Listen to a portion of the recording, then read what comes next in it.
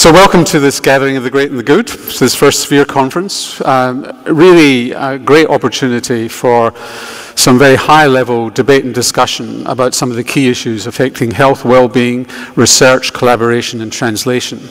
Um, and also we are going to be exploring the two cultures, as C.P. Snow would have said.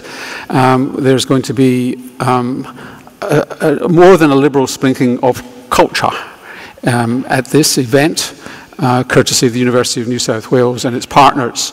Uh, you must stay on until the last session tomorrow. It will be unforgettable, as will everything else in between. But you really, uh, without saying too much, you've really got to stay on to the last session tomorrow.